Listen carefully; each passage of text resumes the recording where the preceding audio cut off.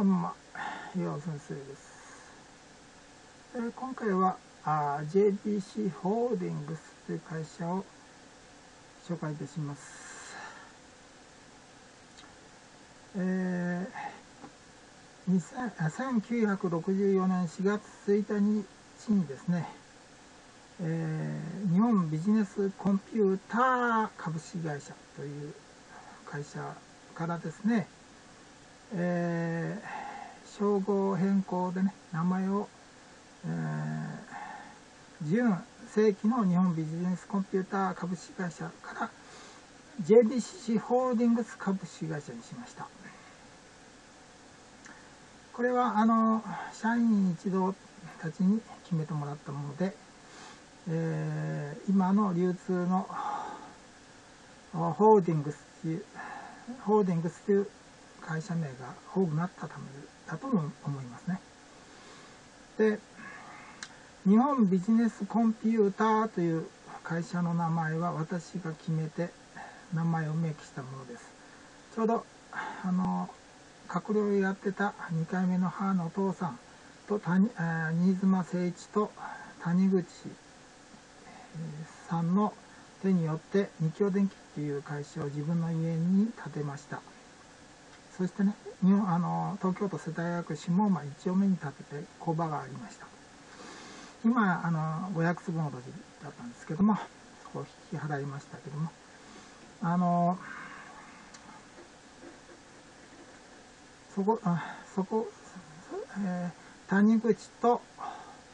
新妻誠一防衛庁技術研究所の所長をやってた、閣僚をやってた、え2回目の母のお父さんが2人で建てたわけです。谷口さんと新妻誠一ですね。えーそれから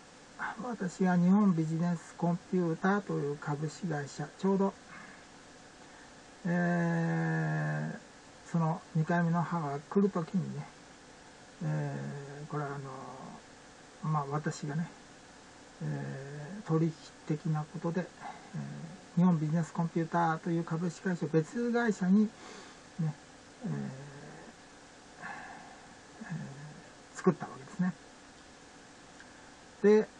日京電機とはまた別で、独立というか、まあ同じですけれども、作った日本ビジネスコンピューター株式会社、これ全部僕は名前作ったんです。で、変わってるでしょコンピューターと文字ね、作ってるんですけど、えー、えーこれは僕はなぜこのコンピューター、日本ビジネスコンピューターという名前を作ったかって、命名して会社を作った。まあ、や実際的に、えーみんなでね、経営してるわけですけども、あの、えー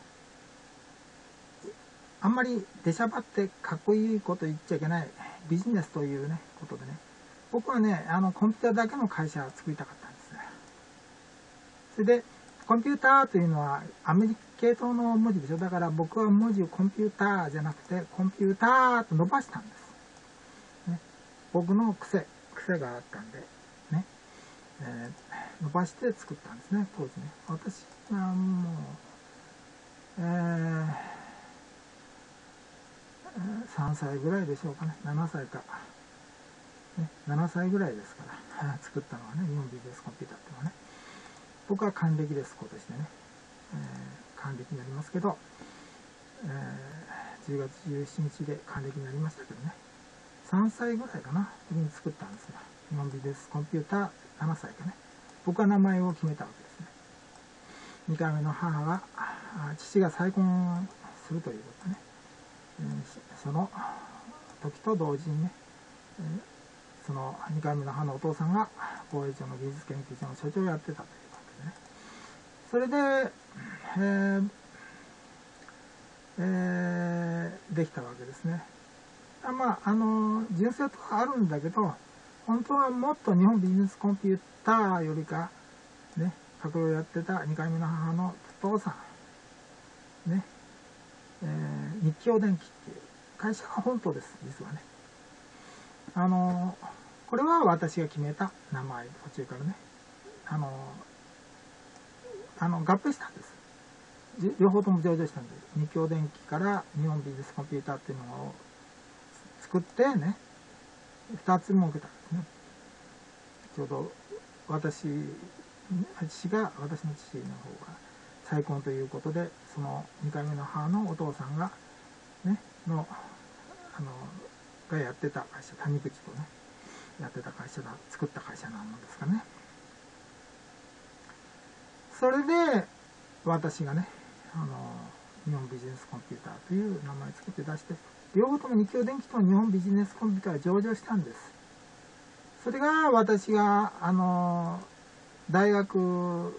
にね入った時神奈川工科大電気科に入った時に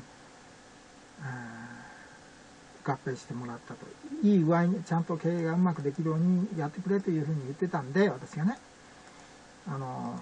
それはみんなで会社の組織この私の会社の組織のメンバーがあのグループ化したんですねでグループ化じゃなくてあの日本ビジネスコンピューターという会社に統一したんです日京電機も。えー、ということですね。まあ、現在、え、47億1300万円で、子会社が、あの、いくつ、あの、何個かございます。この私の作った日本ビジネスコンピューターと名前か、ね。えー、ね、からできてます。で、現在だからグループ会社と JBC グループというのがなってますけど、さらにこれからグループ会社となってます。ね。私はあと、あの、ソーティックって会社、資本金138億円のソーティックって会社も建てた、建てておりまして、最高創生者でね。で、ここの、あの、JBC ホールディングス株式会社名誉会長です。私はね。一番偉いです。ね。からに、あの、ソーテクとは別会社で、グループじゃないです。全く別別会社で、音響という会社に合弁しております。ね。これはまた別ですね。で、私は投資家で、またバイナリーオプションのスペシャリストで、世界一になってってスペシャリストで、えー、すまんね、自分で稼いでますけど、あのー、バックではあの応援しております。いいようにね、正しく動くように応援しております、会社ね。ということですね。で、東京証券取引所ですね。えー、コードが9889になりますね。あのー、そういう組織になってます。ここに私の名前は入れてませんからね。私はあの、本物の貴族なんでね、あの、妨害が入るんでね。ねで、お金の取り立てとかいうのは世界的に自分でやってますので、直接取るような方法は知ってませんので、どこの会社もね、そういう時も JBCC 会社からも直接会社を直接取ると本物貴族なんで、あの、あお縄になっちゃうわけですね。お金を、えー、あの、あの、本物の役人ですからね。半負けの王様です。私はね。半負けの本家の貴族であります。ね、ということで、あの、え、あとグループがね、こちらなんですけど、このようにあの代表が JBCC ね JBCC コムの JP になったんですけど、うん、このように CIS さんでゼネラルビジネスサービス株式会社とかね。あ株式会社。I、えー、ララーニングさんとか、J、JB サービス株式会社とか株式会社。ソルネットとかですね、うん。これなんていうのかわかんないけど、あのー、警報っていうんですかな、わかんないけども、株式会社とか、JBCN、上海ですかね。中国系ですね。だと思うね。えー、あと、JBCC っていうのがですね、JB パートナー、あパパートナーソリューション株式会社ということですね。えー情報かその他情報開発製造っていうんですかね、えー、こういう JB、J, J ですかね。あとシ、シェアードサービス。C&C ビジネスサービス株式会社がございます。これが、あの私がね、作った、あというか、最高創設名誉会長の、えー、で指揮、指揮できるね、えー、グループです。と、あの、本社ですね。えー、私が言いたいのは、あの、悪いことはしないで経営してもらいたいということですね。それで潰さないように経営してまいたいということです、えー、命を懸けて経営するのはやめてもらいたい。責任を取ることはやめてくださいと。えー、簡単に、仕事は大きいです。簡単に死んでしまいます、責任取るとね。ですから、まいたと言って、それを通達を徹底するようにね、で、そこの部署から管理職、いいのがいなければ、辞める必要ないなくて、しょっちゅうもう参ったからって助けてくれと、ね、えしょっちゅう言うこと、ね、もう限界ですというようなことでね、えーえー、死ぬことは許されてないと、えー、まあ、責任は取るようなことはしないといけないですけど、ね、頑張ってもらうことで責任取れます、をなんとかね、中和させるということですね。で、死なない、死なないように。それでね、えー、えー、なるべく家族を育てられるようにして、安定性で給料を出すようにと、できるだけ精一杯。それで、非常の時に力大変なんでね、信用な、非常の時は大変なんで、そのその時に力使ってください。潰さないようにね。えー、っていうことですね。そういう時もありますから、ね。あの、そういうことをちょっと言わせていただいて、えー、グループ会社の紹介ですけれども、あえー、ね、えー、このようにね、あの、あの、えー、会社の方はね、えー、頑張ってますからね、こうね。ここに役員いらっしゃいますでしょ？ね。もともと原型は谷口さんですね。谷口さん、新妻誠司さんですね。ですからね。もう亡くなってますから、二人とも亡くなってますからね。その次が、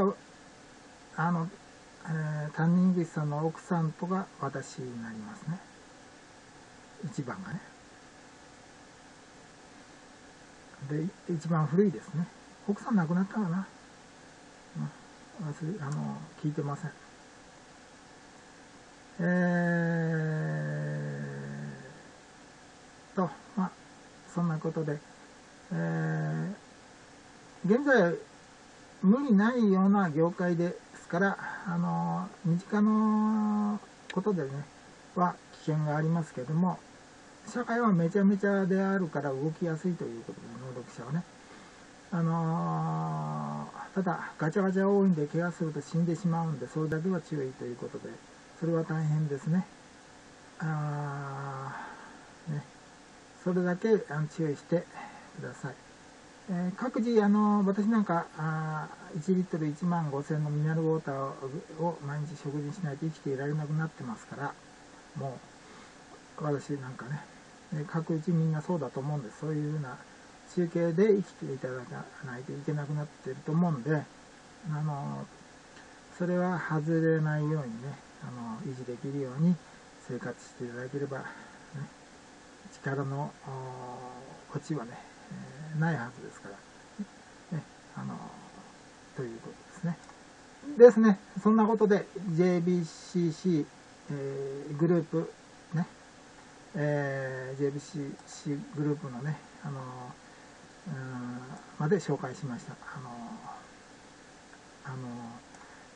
のね、どうもありがとうございました。